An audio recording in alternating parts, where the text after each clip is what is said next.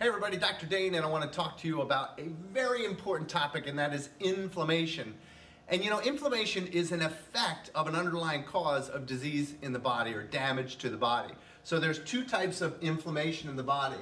There's what's called acute inflammation, and acute inflammation is just that. It's acute. It lasts for a few days. I sprain my ankle, I tear some tissue, the body's going to heal itself. And that's not the type of inflammation that I really want to address because there's really not much that you can do for acute inflammation other than ice it and make sure the tissues repair properly.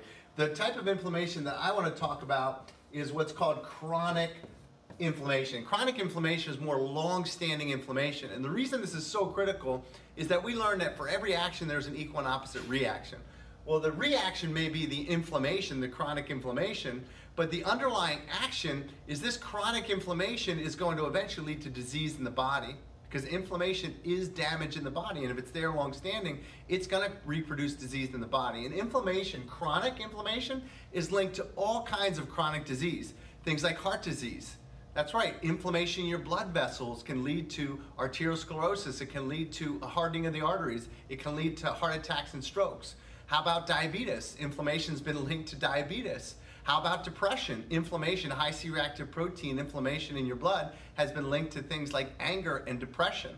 How about other things like bone loss? Inflammation is actually linked, high cytokines, which is what inflammation is, has been linked to loss of bone mass. So inflammation truly is the trigger for a lot of chronic disease. Now, when we talk about inflammation, if we want to minimize the amount of inflammation, and inflammation causes all kinds of problems, causes pain, it causes aching. When you're inflamed, you're going to know about it because you're going to feel that inflammation in the body because things are swollen and they're red. And just because you can't see it doesn't mean that you're not having inflammation uh, in your body. So we have to talk about two things with inflammation. First of all, what do we need to eliminate? Okay? We need to eliminate. What do we need to eliminate? The big one for me is sugar. Sugar is a very big cause of inflammation, causes all kinds of problems, increases insulin. When we secrete more insulin, when we're more in a sympathetic, dominant uh, fight or flight state, when we're in a fight or flight state, we're much more vulnerable to inflammation in the body. So we want to eliminate uh, sugar. We want to eliminate stress. Stress triggers our sympathetic nervous system. So long-standing stress causes inflammation in the body. So these are, to me, these are the two big culprits. We also want to eliminate chemicals in our food. There's a lot of things like uh, chemicals that are unnatural. And these would be things like hydrogenated oils, uh, additives and preservatives, all the chemicals that we're exposed to the body doesn't recognize those chemicals. And so the body, a lot of times, if they're foreign chemicals or foreign proteins, the body is going to um, do what it does and it's going to elicit an immune response.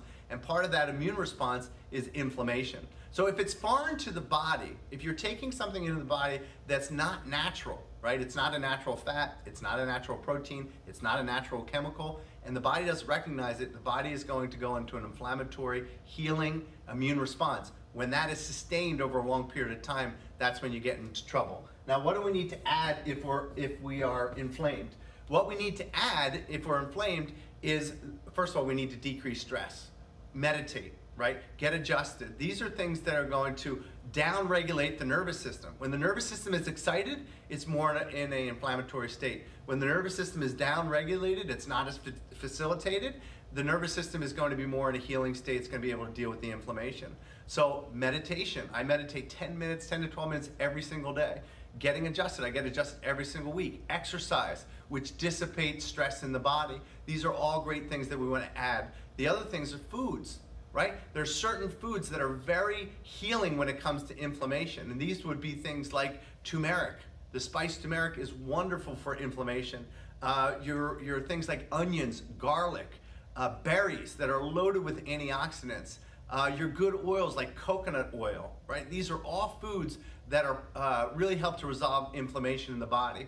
So again, the more we can keep our diet raw, less cooked, less processed, the more we're gonna deal with inflammation in the body. So this is Dr. Dane. I want you to just think about this. Your chronic inflammation, if you're tired all the time, if you're aching, if your joints are, are hurting, if you have leaky gut, right, where these large proteins are leaking through your, your large intestine and back into your blood uh, stream and your body is attacking that with inflammation, you're gonna have these symptoms and they can be cleared up with a, with a lifestyle that includes chiropractic care, uh, meditation, uh, eating healthy, drinking more water, all the things that are obvious. But just remember, common sense isn't common practice.